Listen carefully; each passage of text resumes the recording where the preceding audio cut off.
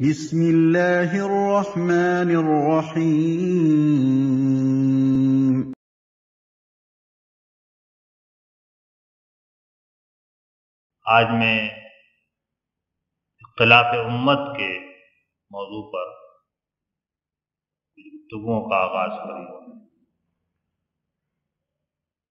उम्मत में इख्तलाफ का मसला एक ऐसा मसला है कि जो हर शख्स के जहन को परेशान करता है।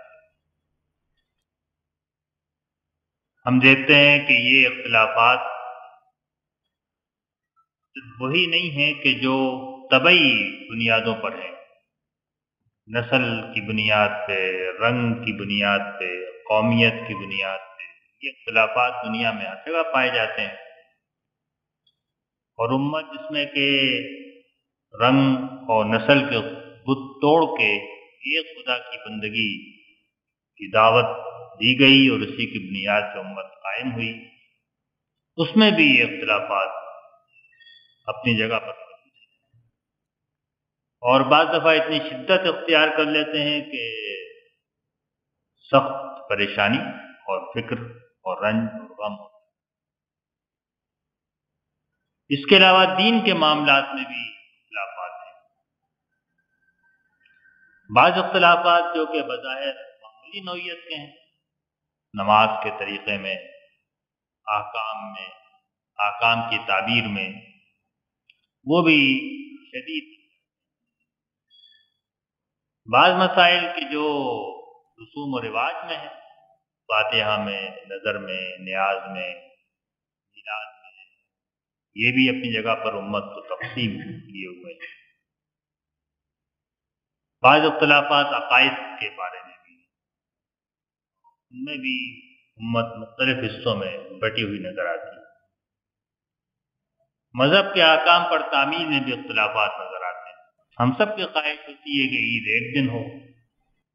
बाज़ दफ़ा एक मुल्क में भी नहीं होने पाती, एक शहर में भी नहीं होने पाती।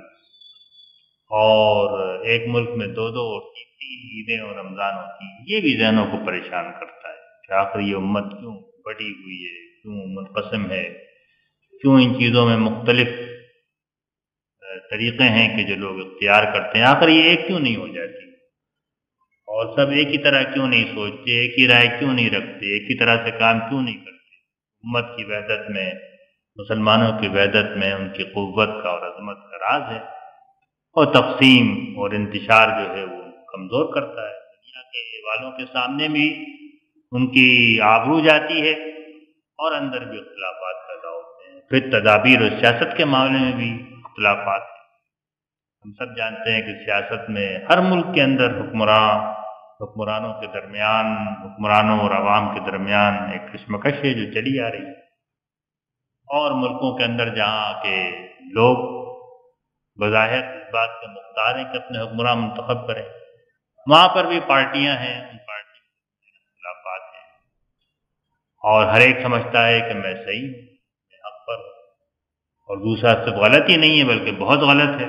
किसी को गुंजाइश नहीं है कि वो मुल्क का इंतज़ाम चलाए।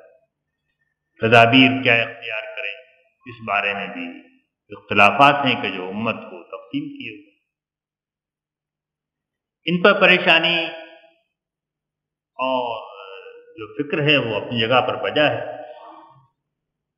तो पहला ये पैदा होता है कि इंतखाबा, ये इख्तलाफात जो हैं, ये क्यों हैं? और क्या इनका होना ज़रूरी है? क्या इनसे बचा जा सकता है?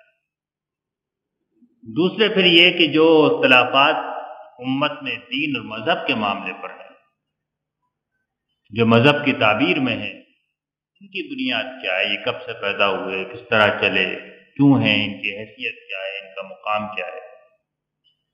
और तीसरा सवाल फिर ये पैदा होता है, क्या इनको हल किया जा सकता है? इन पर काबू पाया जा सकता है। और जो भी इख्तलाफात हों, वो रंग और नस्ल के हों, ज़ुबान के हों, कौमियत के हों, सियासत के हों मज़हब के हों, इन सब पर आकर काबू पाने की कोई तदबीर है या नहीं है? और है तो क्या है? ये बड़े अहम सवाल हैं।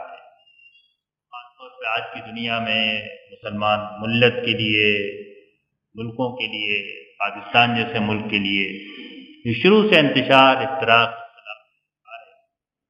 इन सवाल का जवाब तो बड़ा अहम है। मसाजिद हमारी बटी हुई है। एक एक मसलक की मस्जिद है कुछ दूसरे मसलक की मस्जिद है।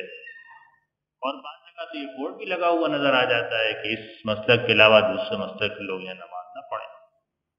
और नमाजों के अंदर भी अख्तलाफ होता है। तो ये वो चीज़ें हैं कि अगर मुसलमान को परेशान करती हैं तो सही तौर पर करती हैं और अगर हम सब सोचते हैं कि इनका हल निकले तो सही सोचते हैं।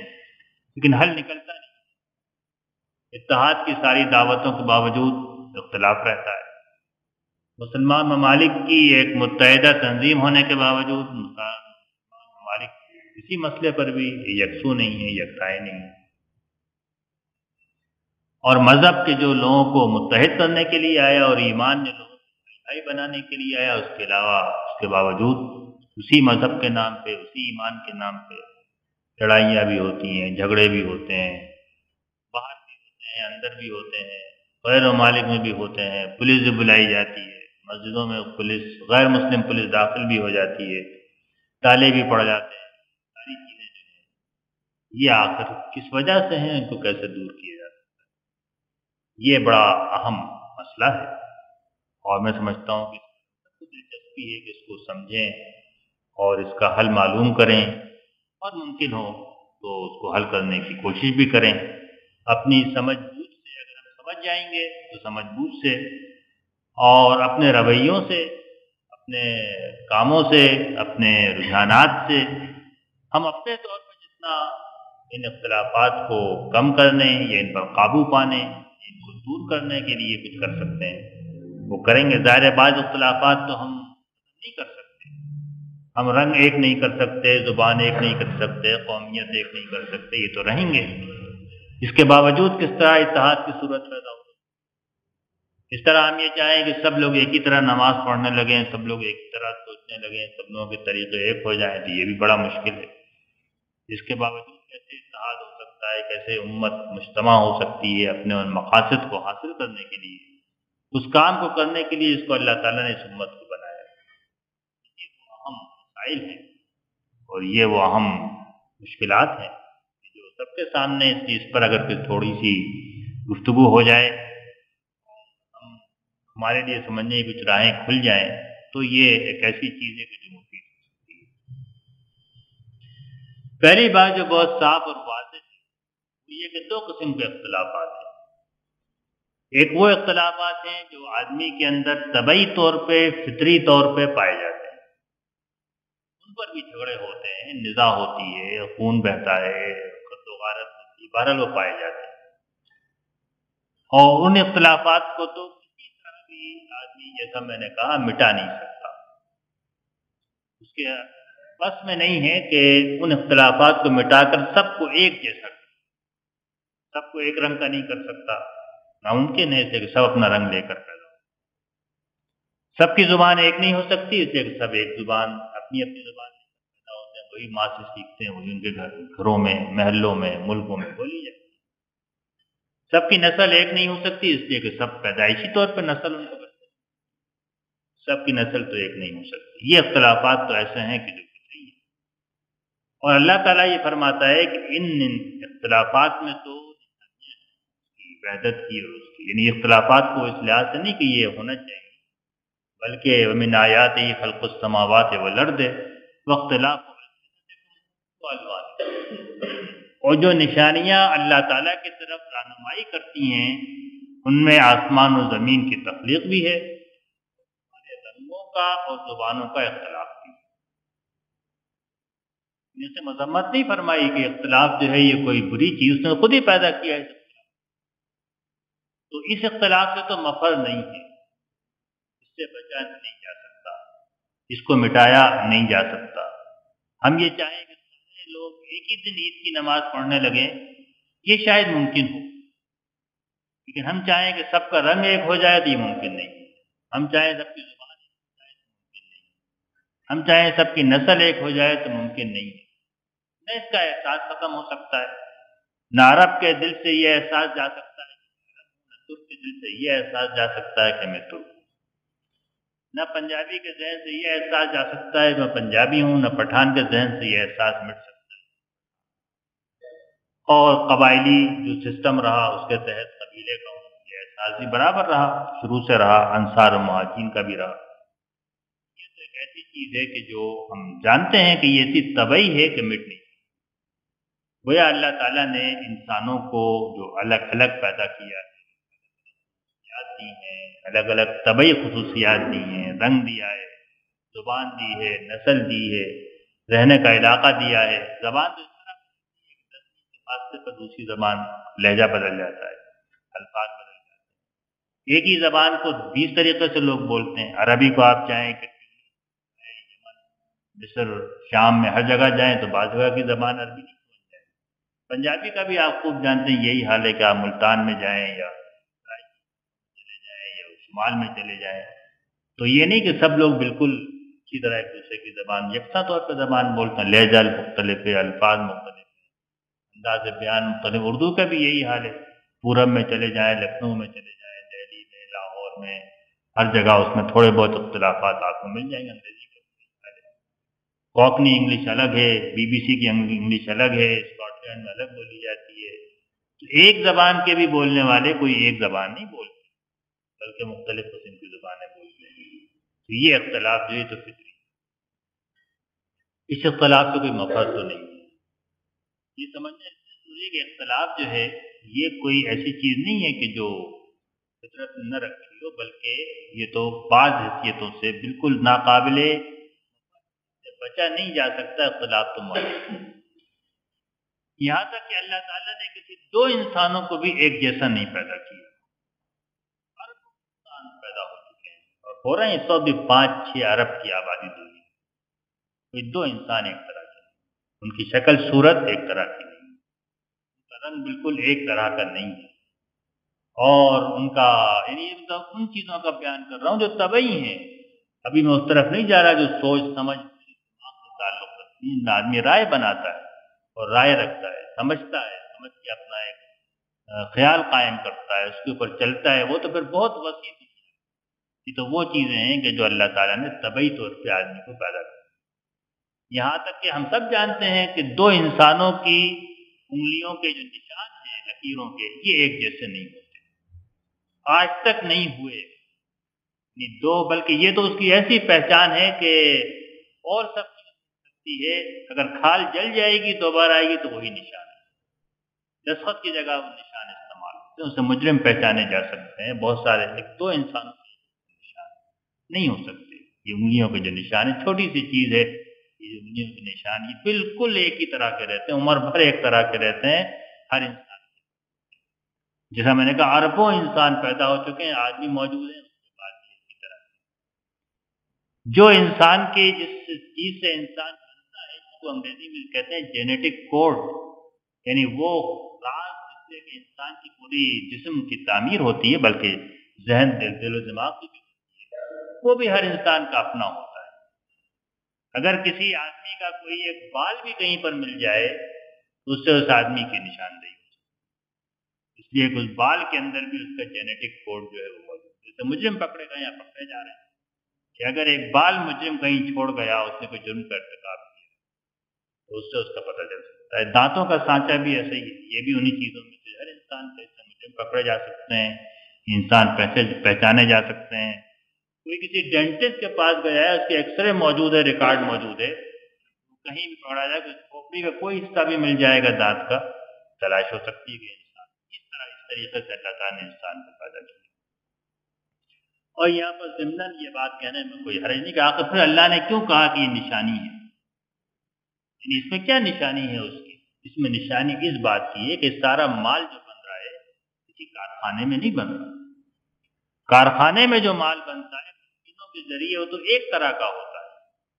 उसमें कोई फ़र्क नहीं होता। एक ही साइज़ का होता है, एक ही शक्ल का होता है, एक ही क्वालिटी का होता है, एक तरह का माल होता है।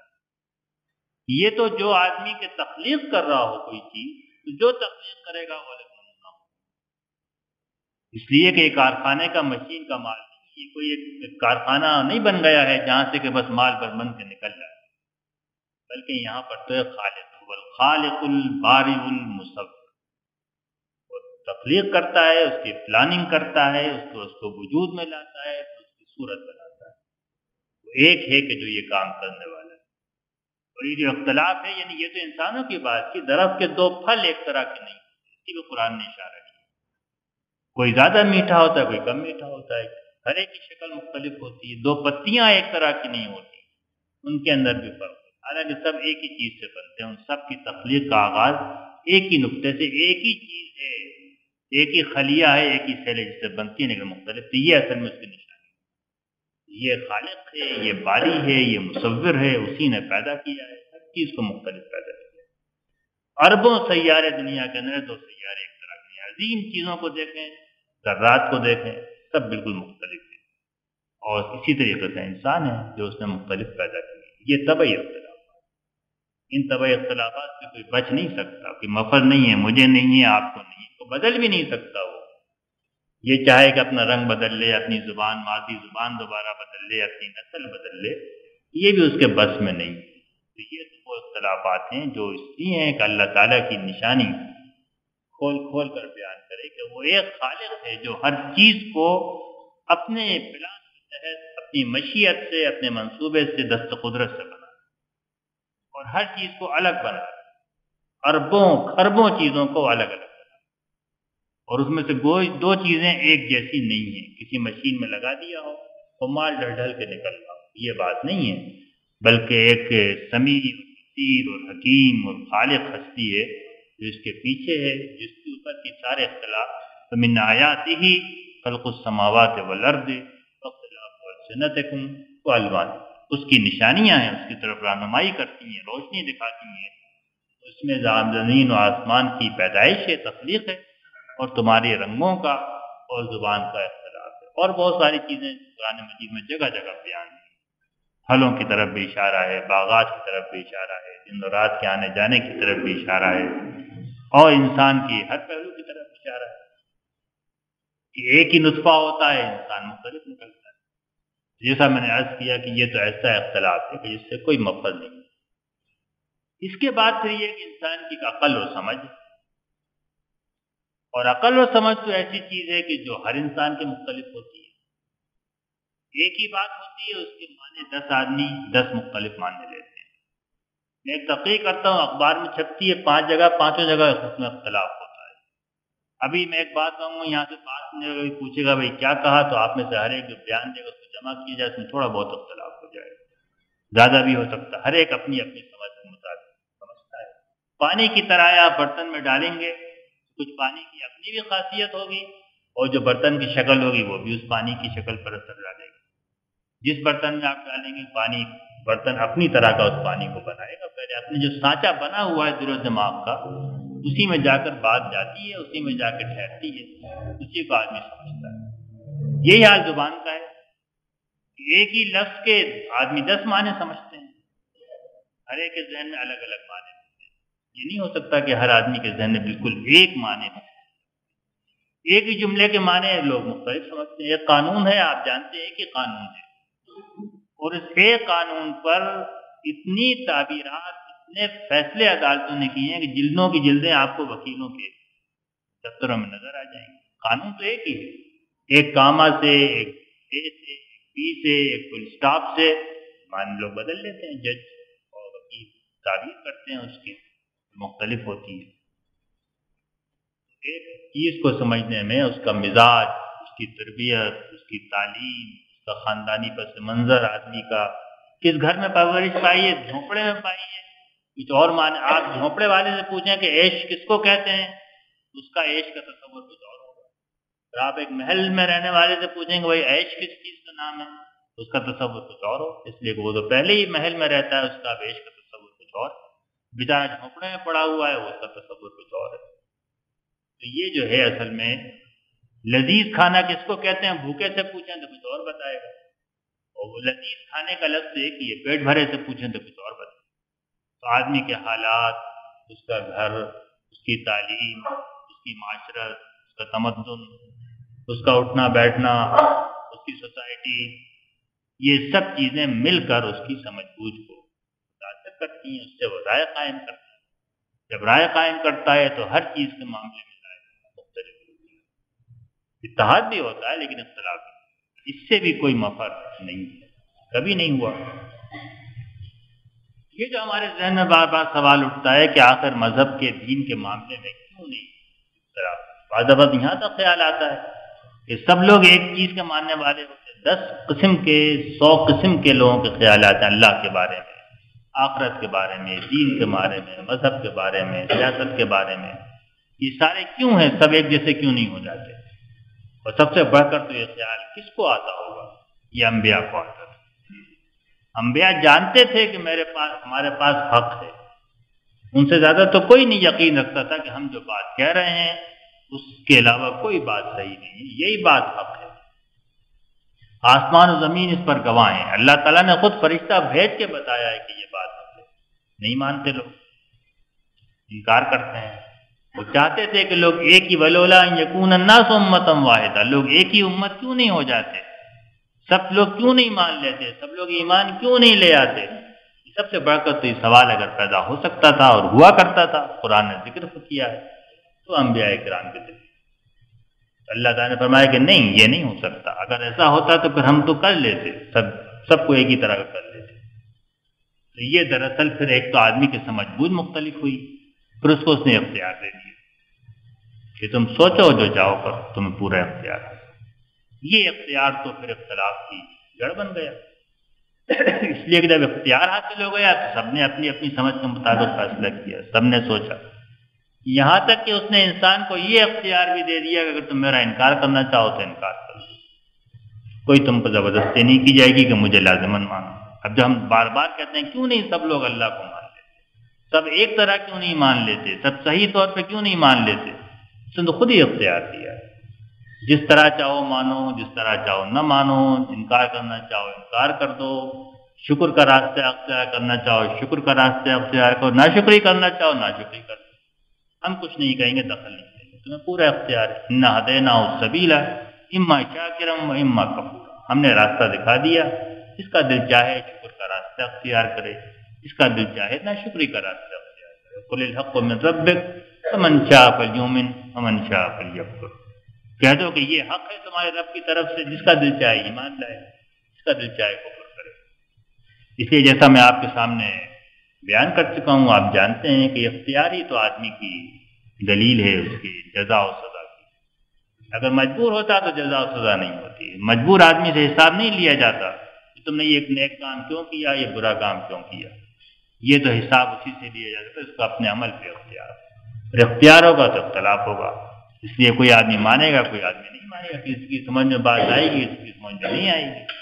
सियासत में भी होगा मीशत में भी होगा वोट देने में भी होगा पार्टियों के अंदर भी होगा मज़हब में भी होगा मज़हब को समझने के अंदर भी होगा फ़िका में भी होगा नमाज़ के पढ़ने के तरीक़ों में भी होगा अकायद में भी होगा मिलाद पे भी होगा न्याज पे भी होगा खबरों पे जाने पर भी होगा कोई चीज़ ऐसी नहीं इस पर इख्तलाफ इसलिए कि मफर नहीं है फरिश्तों ने तो आदम अलैहिस्सलाम की तकलीफ़ का मंसूबा सुन के ही कहा था कि आप तो उस चीज़ को पैदा कर रहे हैं जो खून बहाएगा और फसाद में इख्तियार जब होगा तो वो तो आदमी खून बहा सकता है, इख्तलाफ में आगे बढ़ जाएगा, शिद्दत पैदा होगी, तलवार निकाल लेगा। तलवार निकाल लेगा तो खून बहाएगा। आपस में झगड़ेगा तो फसाद पैदा होगा। तो वो तो पहले ही इंसान की तकलीफ़ में ये बात छुपी हुई है, मुजमर है, पोशीदा है तो इख्तलाफ करेगा। इख्तलाफ करेगा तो ये इख्तलाफ कर सकता है। साथ ही अख्तियार से आदमी इख्तलाफ काबू भी पा सकता है। ये अख्तलाफ उस तरीके से तबाही नहीं है। जिस तरीके से रंग का इख्तलाफ है, नस्ल का इख्तलाफ है, ज़ुबान का इख्तलाफ है, जिसको मैंने आपके सामने बयान किया। बल्कि ये इख्तलाफ तो उसके अख्तियार वो अगर चाहे तो उस पर काबू पा सकता है, चाहे तो दूसरे की राय का हम नवा बन सकता है, दूसरे की राय मान सकता है, चाहे तो न माने, लेकिन अगर मानने का इख्तियार उसको तो ये इख्तलाफ जो है, ये ख़त्म हो सकता है। या कम से कम इस पर काबू पाया जा सकता है। ये उस इख्तलाफ की तरह नहीं है नस्ल और रंग और ज़ुबान के अख्तलाफ की तरह कि जिसको आदमी ख़त्म नहीं कर सकता। इसको ख़त्म कर, आज एक राय, कल दूसरी बन जाएगी, इख्तलाफ ख़त्म हो जाएगा। आज आदमी काफिर है, कल मोमिन हो जाएगा, इख्तलाफ ख़त्म हो जाएगा, मोमिन बन जाएगा। ये वो इख्तलाफात हैं कि जो राय के होते हैं जो कि समझबूझ के होते हैं, जो अपने अकीदे के होते हैं, जो ईमान के होते हैं, कि जिनको आदमी के अख्तियार में काबू में है। कि वो इनको काबू में लाए और इनको या तो अपने मुकाम पर रखे। तो दोनों किस्म के अख्तलाफात से मफर नहीं है। अब अगर हम दीन के मामले में आए तो हम ये देखते हैं कि ये दीन के मामले में भी अख्तलाफा क्योंकि फितरी हैं समझ बूझ के। इसलिए ये कोई आज की बात नहीं है, बल्कि रोज अव्वल से ये अख्तलाफात मौजूद ये अख्तलाफात साहबा इकराम रज़ा के दरमियान भी मौजूद थे। ये कुरान को समझने में भी थे। कि अल्लाह की मंशा क्या है? वो कुरान मजीद में उसने जो कुछ फरमाया है, उसके क्या मानी निकलते हैं? उससे क्या हुक्म निकलता है? तो साहबा इकराम आपस में अख्तलाफ करते हैं। ये अख्तलाफ जो है, ये नबी करीम वसल्लम के मंशा और आपके अल्फाज और आपके हुक्म को समझने के अंदर भी साहबा इकराम आपकी ज़िंदगी में भी हुए। और आपकी ज़िंदगी के बाद तो कोई हल करने वाला भी नहीं था, फिर तो और बढ़ते गए। आपकी ज़िंदगी में भी लोगों ने इख्तलाफ किया और समझने में आपकी मंशा, क्या मंशा है कुरान के अल्फाज का? क्या मंशा है हजूर का? क्या आपने बात फरमाई? इसके क्या मानी है? अल्फाज पे जाएँ या अल्फाज के मानी समझें? इस पर तो उस जमाने में भी साहब कराम के दरमियान इख्तलाफ होते और बस ये था कि वो इख्तलाफ जो है वो, जैसा मैंने कहा हदूद के अंदर है। फिर तदबीर में और सियासत में और क्या करें और क्या न करें, और किससे जंग लड़ें, और किससे जंग न लड़ें, और किससे सुलह करें, और कैदियों के साथ क्या मामला करें। ये तो फिर ताबीर का मामला भी नहीं था। इसमें तो कोई रेफरेंस पॉइंट नहीं था। कोई ऐसी जगह नहीं थी जहाँ आदमी रुजू करके तय कर लेगा अच्छा ये कहा था, कुरान की ये आयत है। जो आदमी माने बताएगा, उसी आयत की हजूर में रह के बताएगा। ये हजूर का ये इर्शाद है। कि जो माने समझेगा उसी इर्शाद की हदूद के अंदर रह के समझेगा। लेकिन जहाँ पर तदबीर का मामला आएगा सियासत का मामला आएगा, और चीज़ें आएँगी तो वहाँ पर तो कोई उसूल भी नहीं है, रहता रुजू का बल्कि जो जिसकी समझ में आए वो उसको कर सकता है। चाहे हम देखते हैं हजूर के ज़माने के अंदर ये अख्तलाफात पैदा हुए, मसलन बदर कस्बा बदर के बाद कैदियों का मसला तो कुछ लोगों ने कहा कि इनको छोड़ दिया जाए, फिदिया लेकर। और कुछ लोगों ने कहा कि नहीं, इनको कत्ल कर दिया जाए। बड़ा ज़बरदस्त अख्तलाफ था, इस पर बहस हुई। इसको हजूर ने फैसला फरमाया कि नहीं, फिदिया लेके छोड़ दिया भाई इख्तलाफ मौजूद था इस गजबा आज़ाब का वक्त आया तो ज़बरदस्त जंग थी और पूरा अरब मदीने को घेरे हुए था, मुट्ठी भर लोग थे। और इसका इम्कान था कि ये अगर ज़रा सी चंद गज की खंदक थी, अगर इसको अबूर कर जाएँगे तो मदीने का तो एक एक आदमी जो है वो कत्ल हो जाएगा। इतनी ज़बरदस्त खतरे कुरान ने खुद इसका नक्शा बड़े मौसर अंदाज में पहुँचा है, क्या हालत थी? हजूर को यह ख्याल आया कि भाई अगर ये सुलह कर दी जाए। तो अंसार थे मदीने के असल रहने वाले, उनको बुलाया, उनसे कहा कि मैं इनको मदीने की ज़मीनों का बागात का खराज देकर, इसका एक हिस्से पैदावार का देकर, इनसे हम सुलह कर लेते हैं। इस वक्त तो ये वापस जाए ना, बाद में लड़ लिया जाए। तो अंसार ने कहा कि ये अल्लाह का हुक्म है या ये आपकी तजवीज़? तो हजूर ने फरमाया कि नहीं, ये मेरी तजवीज तो ने कहा, हमने तो जब बहुत कमज़ोर थे, जब भी कभी किसी को खराज नहीं थी तो अब आप हम क्यों कह रहे हैं? तो आपने खुश हो गए अब आप भी ये नहीं चाहते। लेकिन आपने सोचा, इनके दिल के लिए कर रहे थे आप। तो उस पर भी इख्तलाफ तो ये तो हजूर के ज़माने में तदाबीर के मामले में मैंने दो मिसालें नहीं वैसे तो सीरत के अंदर और बेशुमार मिसालें। हुजूर ने जो कुछ फरमाया, उसका क्या मंशा है? पुराने मजीद में जो आयात नाजिल हुई, उसका क्या मंशा है? जो हुजूर के पास थे, वो तो आपसे पूछ लेते थे, जो पास चले गए, एक दफ़ा आए, मिले, चले गए। बेशुमार लोग ऐसे थे, जो मदीने में तो सब नहीं रहते थे। तो वो अपनी समझ के मुताबिक करते थे। समझ में अख्तलाफ होता था, कोई कुछ एक माने समझ में आते थे, किसी की समझ में दूसरे माने आते खुद हजूर के ज़माने में मशहूर वाक़ है कि रमज़ान के बारे में जब ये आयत नाजिल हुई इस तहरी का वक्त उस वक्त खत्म हुआ है असवर जब सफ़ेद तागा या धारी काली धा, तागा और धारी से अलग हो जाए उस वक्त तुम खाना पीना बंद कर। तो एक बड़े साहबी थे उन्होंने एक काला धागा लिया और एक सफ़ेद धागा लिया और दोनों को मिलाकर अपने सराहने रख लिया कि अब ये सुबह को जब ये अलग हो जाएँगे तो उस वक्त खाने का वक्त खत्म वो अलग नहीं हुए सुबह को। हजूर के पास गए। कुरान में तो ये था कि भाई, सफ़ेद धागा, काले धागे से अलग हो जाए।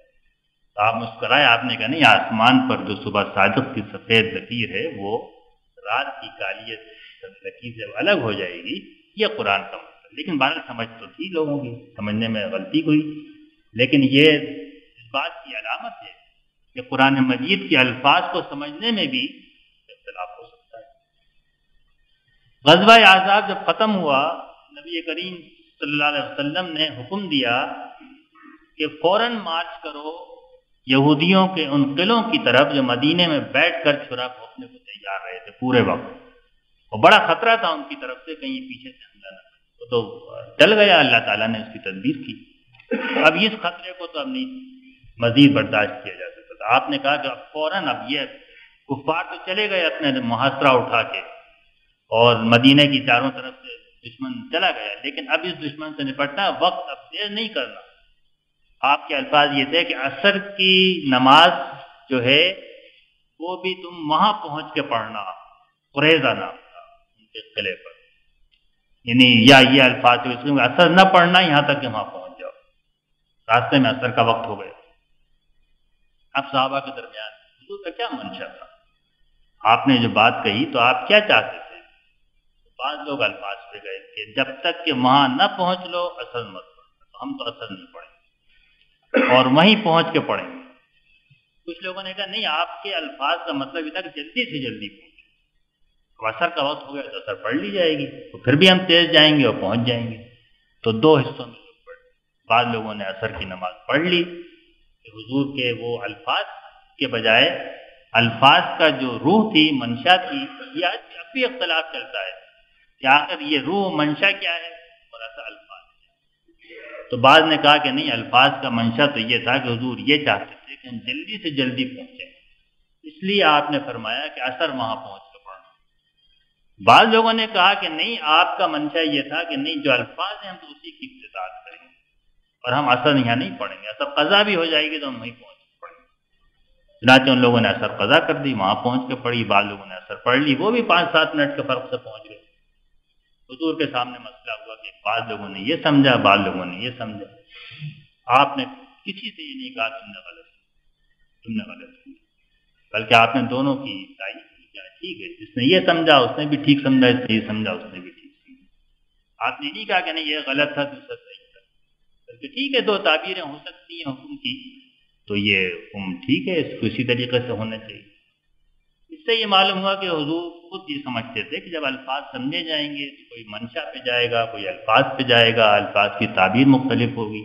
इसका दरवाज़ा बंद नहीं किया जा सकता कि लोग इख्तलाफ करें समझने में, किसी हुक्म को, कुरान की आयत को, हजूर की हदीस को, हजूर की मंशा को। कोई कहे कि नहीं, हम ज़ाहिर अल्फाज जो हैं, बस उसी की पैरवी करेंगे। कोई कहे कि नहीं, हम ये समझेंगे, अल्फाज किस लिए कहे गए? हम उसको समझ के उसकी पैरवी करेंगे। ये तो मुख्तलिफ़, बहुत सारे मसाइल पैदा होंगे, तलाक के, निकाह के, सियासत के मीशत के, सूद के, इन सब के अंदर हर जगह ये चीज़ नज़र आती है। फ़िक्र के मुख्तलिफ़ मसलक बन गए इसी पर। बाद ने कहा अल्फाज की पैरवी करेंगे, बाद ने कहा, नहीं, हम मंशा निकालेंगे। जब मंशा निकाला तो मंशा तो हर एक ही समझ जाती है समझ के मुताबिक इसी तरीके से हजूर ने एक लश्कर को, पेट्रोल पार्टी को बाहर भेजा मदीने के। और उनसे ये कहा कि ये तुम्हारे अमीर हैं और ये जो हुक्म दें तुम उसको मानना वो वहाँ गए तो उनकी समझ पता नहीं क्या है। उन्होंने लोगों से कहा, लकड़ियाँ जमा करके लाओ। लोग लकड़ियाँ जमा करके ले आए। कहा, आग लगाओ। लोगों ने आग लगाई। कहा, इसमें पूछ जाओ। अब लोग परेशान हुए कि हुजूर का हुक्म मौजूद है कि ये जो कहें, वो करना। और ये कह रहे हैं कि तुम आग में कूद जाओ, जो काम बहरहाल गलत है। तो लोगों ने फैसला किया कि नहीं, हम नहीं कूदेंगे। हालाँकि हजूर के हुक्म को खिलाफ वर्जी थी बताए लेकिन उन्होंने सोचा कि नहीं, ये तो एक दूसरा हुक्म है कि अपनी जान को हिलाकत में मत डालो खुदकुशी हो जाएगी। खुदकुशी गुनाह है, गुनाह के मामले में हम नहीं मानते। वापस आए, इन्होंने शिकायत की, जो अमीर साहब मैंने इनको, आपने कहा था कि तो मेरा हुक्म मानना इन्होंने मेरा हुक्म नहीं माना। तो लोगों ने कहा, हमने ये समझा कि सही काम नहीं है करना। तो आपने कहा, अगर तुम इनकी हुक्म मानते तो तुम हाँ जहन्नम में जाते। इसलिए गलत हुक्म तो नहीं माना जाता। इसी तरीके से अमर बिन आस को सर्द रात थी ठंडी बहुत और उनको गुसल की ज़रूरत पड़ गई। तो मैं तैमुन करके नमाज़ पढ़ सुबह को के सामने वाके पूछा, ज़िक्र हुआ। तो आपने कहा तुमने तैमुन करके नमाज़ कैसे पढ़ ली? कहने मैंने कुरान में है कि अपने आप को हिलाकत में मत डालो। तो मैंने उससे ही नतीजा निकाला कि मैं इस वक्त अगर मैंने ठंडे पानी से गुसल किया तो मैं बीमार हो सकता हूँ मरीज़ पड़ सकता हूँ। कुरान ने कहा है कि अपने आप को अपने हाथों हिलाकर आप मुस्कुराए और उसके बाद आप खामोश हो जाते कुछ नहीं कहा कि नहीं तुमने सही किया गलत किया कुछ नहीं। तो ये दरअसल जैसा मैंने आपसे किया कि ये तो, तो उसी ज़माने से बराबर हजूर के ज़माने की मैंने आपके सामने मिसालें दी हैं। इसके बाद जब जैसे ही हुजूर की वफात हुई तो पहले तो कि हुजूर की वफात हुई या नहीं हुई इस पर भी अख्तराफ था उमर कहते थे, नहीं हुई। और हुजूर नहीं आपको मौत आ सकती। तो बकर उन्होंने पुराने मजीद की आयत पर इन का मैत हूँ इन आपको ही मौत आनी है, इनको आपको मुखालफिन को ही मौत आनी है। तो उमर कहते हैं, मुझे तो ऐसा मालूम हुआ जैसे मैंने कुरान की आयत आके पढ़ी। पहली दफ़ा। मेरे पाँव से ज़मीन निकल गई तलहा से तलवार छूट गई। वरना वो कह रहे, तलवार जो कहेगा कि हजूर का इंतकाल हो गया, मैं उसको कत्ल कर दूँ तो ये नहीं हो सकता। उनकी समझ ये थी कि नहीं हो सकता तो बकर ने आकर सही बात समझे। हजूर कहाँ दफन होंगे? इस पर इख्तलाफ हो गया। बहुत से लोगों ने तरह तरह की बात की। यहाँ तक कि तो बकर ने कहा कि मैंने सुना है कि आपने फरमाया कि जहाँ पर नबी को मौत आती है, वफात होती है, वहीं पर वो दफन आपकी बिस्तर हटाकर वहीं कबर खोदी गई, आपको दफन किया गया। इसके बाद ये मसला आ गया कि हुजूर ने कहा था कि लश्कर जाएगा बाहर। लोगों ने कहा कि अब तो हम बड़े खराब हालत में हैं, अभी हुजूर रुखसत हुए हैं, मुसलमान कमज़ोर हैं। इस वक्त हम ना करें। मौखर कर दें लश्कर को भेजना जरा कुछ दिन के बाद भेजेंगे। बाद साहब आने के नहीं, हुजूर का हुक्म था।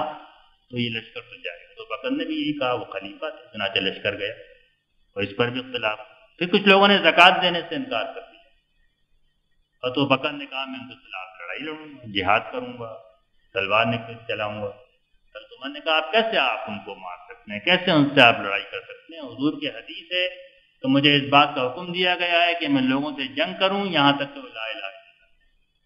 ला ला कहें तो उसके बाद उनकी जान मार कर वो तो ला पढ़ रहे हैं, फिर आप उनको कैसे जक़ात मैंने कहा, नहीं, कलमे का ये हक है, इसलिए हदीस में ये अल्फाज अल्लाह पे हक हक तो ये हक है कि नमाज़ पढ़ें और अगर नहीं करेंगे तो मैं करूँ उस पर बहस हुई, बहुत उसके बाद बहस होने के बाद फैसला हुआ कि नहीं तो अब बकर ने फ़ाइल कर दिया तो तदबीर में, कुरान की आयात को समझने में, अहादीस को समझने में, ये तो वो चीज़ें हैं कि जो हमको उसी दौर से मिलती यदि हम ये समझे कि आज ये सब खत्म हो जाएँगी, सब एक ही राय पे आ जाएँगे, सब एक ही चीज़ मानने लगेंगे तो ये तो मुमकिन नहीं।